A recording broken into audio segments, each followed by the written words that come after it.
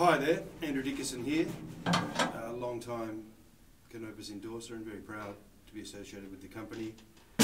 We're looking at some new drums today. This is the Type R series, a brand new series from Canopus. We've got 16 inch floor tom, Type R bass drum, and the snare drum we're featuring at this moment is uh, 10 ply maple.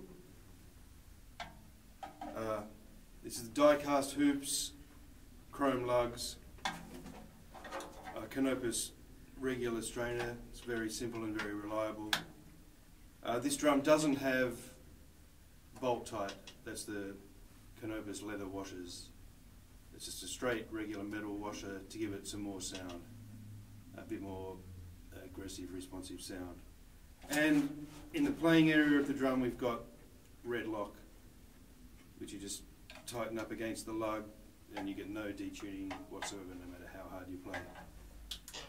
So we're going to listen to this drum at a few different tunings today, starting off with a nice fat sort of low tuning. Okay, here we go.